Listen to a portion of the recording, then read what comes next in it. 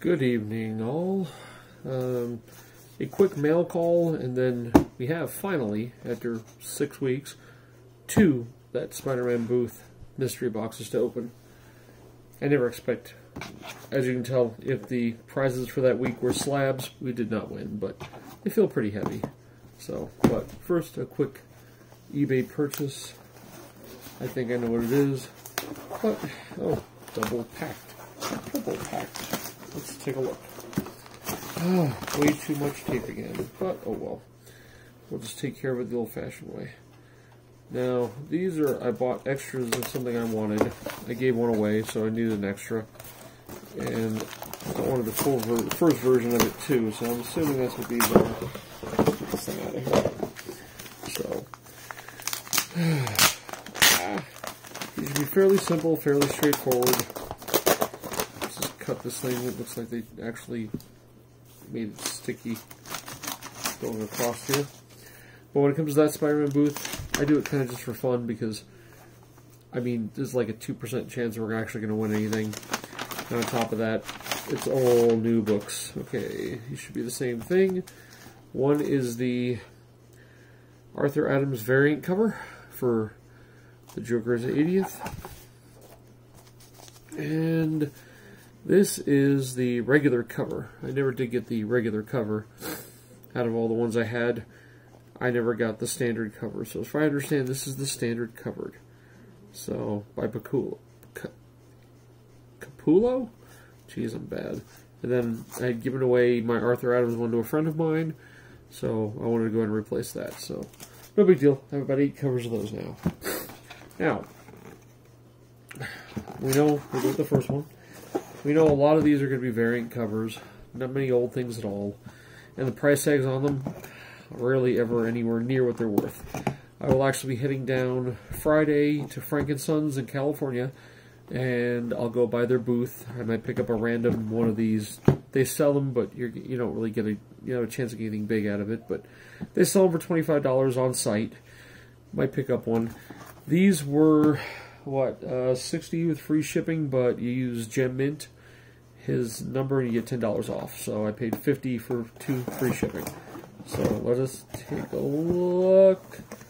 Okay, well, we'll go from this side to that side. I'll close my eyes. Hopefully I didn't see what's on the back. the Blue Beetle Rebirth. Sorry to say, but it's probably about a $2 book. Oh well. Next. Amazing Spider-Man 800 Variant Edition. That is kind of cool. I don't have it, so never know. Maybe I'll just get it. Eh, we'll see. I don't know which variant edition is, but I don't have 800, so that's kind of cool. Next up,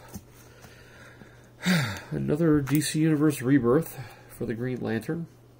This one will go to the kids. Next up, Teenage Mutant Ninja Turtles number one Shredder. $20 they have on it. Guessing it's probably about a ten dollar book. And the final book. Ooh, actually, it's kind of neat. I don't. It's some kind of Virgin variant. I don't know which one or what it is, but it's definitely a cool cover. So, not bad. I mean, I'm happy with this time, but that'll go to the kids. This I'll keep. That'll go to the kids. We'll look these two up and see, but I really doubt they're $20 books. I'm guessing $10 books at best, and this is probably about a $5 book. So, you get your $25 out of it, and I'm happy with that. No big hits, even if it wasn't. Oh well. Okay, next one up. We'll go top to bottom again. And there's nothing on the back of this anyway, just Insta Mondays. They don't put pictures of the prizes. Ready, set, open! Scooby Apocalypse. You're freaking kidding me. I didn't even know they had a Scooby-Doo set like this. Okay, let's turn it over, close my eyes in case anything neat at the bottom, which I doubt it. So here we go. Yay, um, Scooby Apocalypse. That's kind of, and the adventure continues Secret Squirrel. I, I don't even want to know. Okay, next one. Ooh, Black Cat variant edition. They say worth fifteen dollars. So they're you know, they're in good shape. There's nothing major on the nothing major. Might be worth getting. I don't know.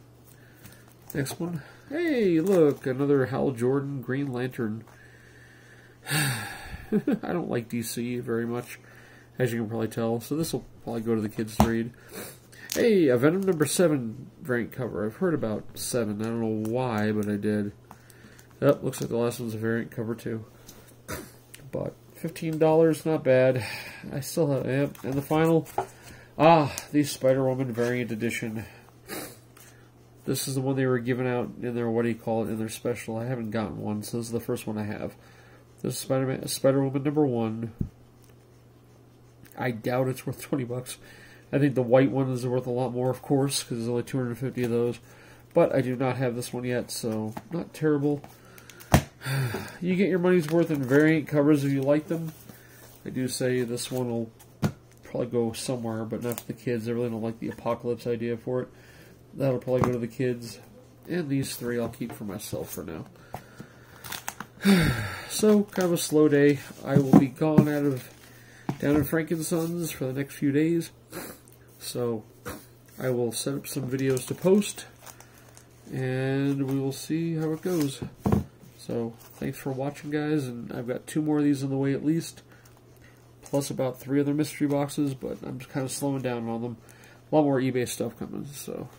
But thanks for watching. Talk to you soon.